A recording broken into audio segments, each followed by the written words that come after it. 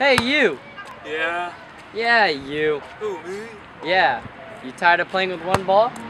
Yeah. You want to play with more balls? Yeah. All right. Maybe you should try jerk it and twerk it. What? You know, jerk it. Not that one. And twerk it. Twerk, No, no, not that either. You know, jerk it and twerk it.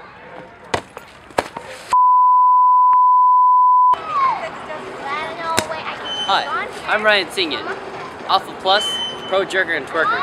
My team's been in the championships for three years. Three years in a row. That means I hit epsilons on a daily basis. Huh? Oh. Don't worry, he's alright. Our balls are made out of hyper rubber. That means every time they get hit, it's only used once. The ball will immediately deflate.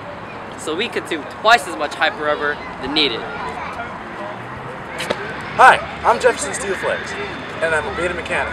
And what we have here is Jerkin and Twerkin 9000, and it's made of a high-grade aircraft titanium, and it uses these hyper rubber balls. And what you do is you load them into the machine, and it shoots them out.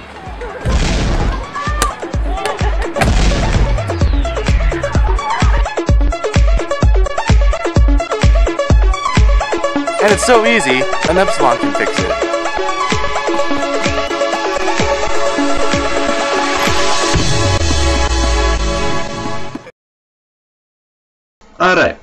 Let me explain how Jerk It and Twerk It works. Two teams are lined up face to face, and the machine will start spontaneously shooting a random amount of hyper rubber balls at the players. The players must then twerk to the balls and eliminate the opposing team by jerking them towards them. You may catch the ball as long as you do not drop it. Once a team is wiped out, the last team standing must jerk a ball into the machine to win the game. Once hit by either player or machine, you are out. Those are the basics. I'll see you out there.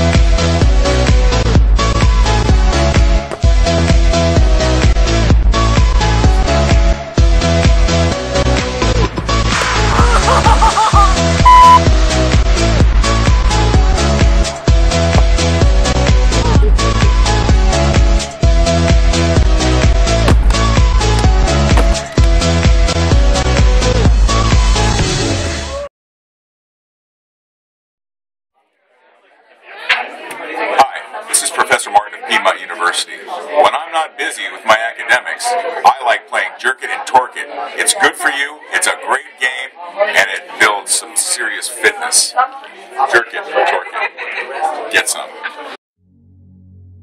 I'm Henry Ford, and I approve this message.